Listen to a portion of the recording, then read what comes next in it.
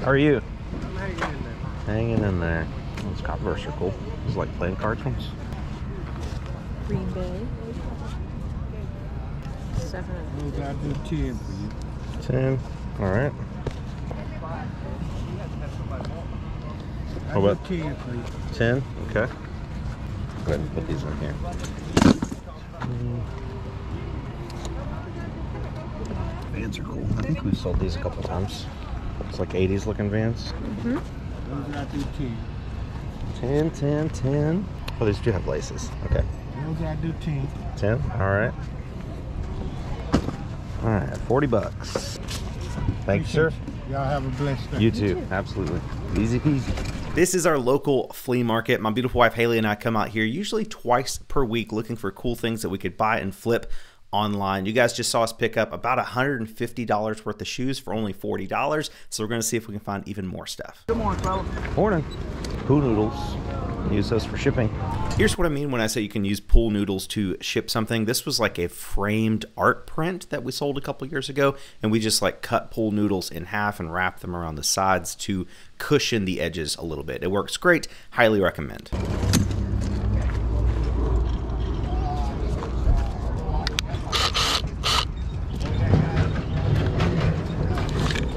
Got on the 20?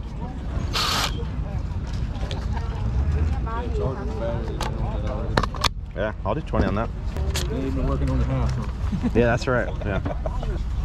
It's like a nurse's bag or something. I guess so. Olympia, USA.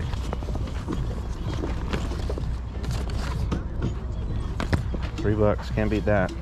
Did I already pay you for the drill? Yes, sir. Okay. Here, I'll do I'll do five on that. That's cool. Okay. All right. We appreciate y'all. Thank you so much. I'll do five dollars. You get the game and the, and the console. I don't know if the console works, but the game alone works out. I guess missing the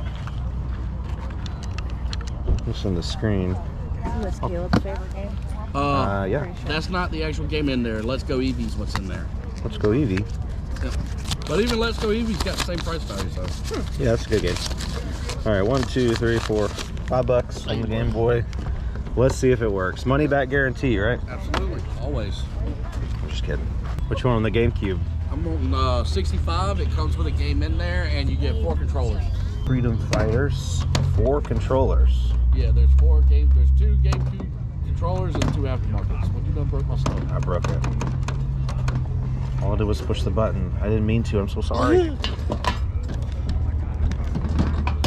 It's weird. Well, now I feel bad. Sorry I broke your GameCube.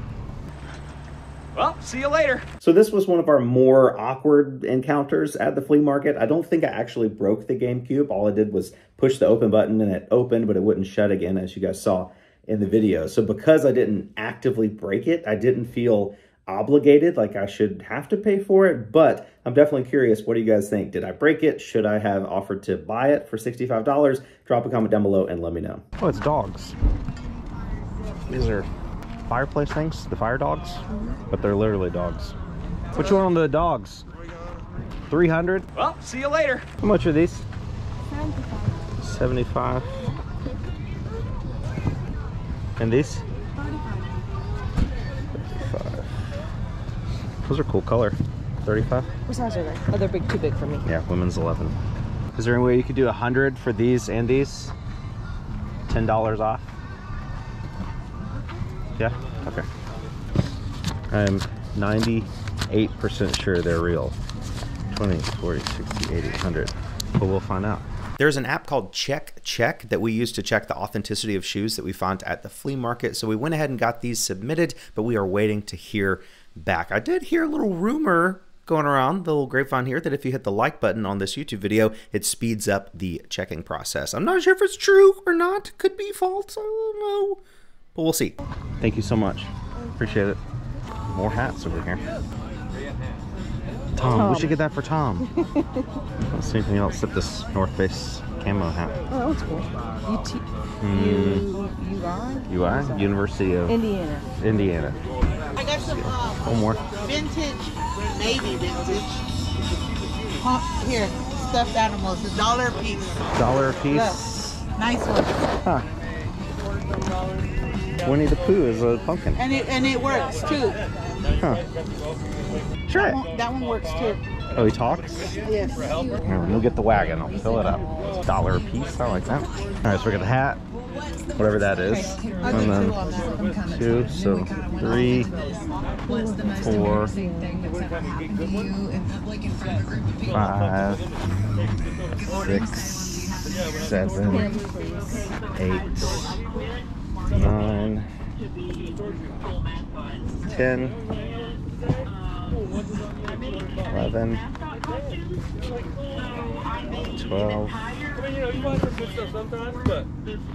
It's Jar Jar Binks. 13, 14, Oh, I'm gonna find an awesome painting or whatever. You're gonna find some stuff. You're gonna make 15.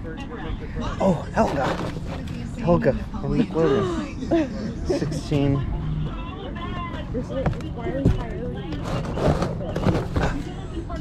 Bob Builder. Oh, yeah. Okay. He's a puppet.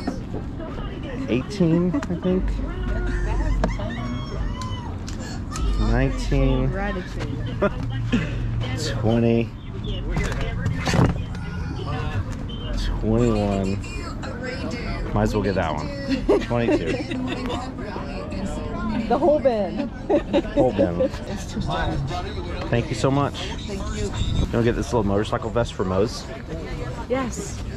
100%. he's been wanting to join a biker gang I think he's finally at the age where you know we can't control him forever you gotta let him go and make his own decisions all you can do is raise him right and hope for the best Okay. A lot of these are really, really cool, Josh. I don't know. Did you like see how many that were like actually vintage? uh, like no that I'll just grab Pinocchio. them The Pinocchio. I just like Helga. I don't think she's vintage. 2019, but still cool for a dollar. So Pinocchio is from '92, Mattel. Hmm. Yeah. That's pretty old. You're supposed to make the hut hut noises. Oh, so sorry. Another successful day at the flea market. I've got some news for you. We did hear back from Check Check on these Jordan 1 Seafoam greens, and we sent them pictures of all the stitching and insoles and everything like that. And unfortunately, they said they are not authentic. Uh, we've actually sent them in twice to see if we could get a dis- different person to give us a different opinion, and both times they came back as not authentic. Uh, they, both times they also said it was because of the inside tag. It's hard to show here, but I'll put a picture on the screen of the inside tag there. I don't know. I'm not a professional when it comes to sneakers like this, but they look good. They feel good. The quality materials and the stitching and the tag looks the same as other Jordan 1s in this model that I could find online. So I don't know. Check Check is not 100% accurate all the time. I mean, they're really close, but sometimes they do authenticate fake shoes and sometimes they do not authenticate real shoes. So we may take these somewhere else to get a third opinion, technically. But uh, anyway, thank you guys so much for watching today's video. If you've enjoyed it, hit the like button down below. And if you haven't already, please go ahead and hit the subscribe button down below as well. Thank you guys again for watching. You're the best. We will catch you on the next one.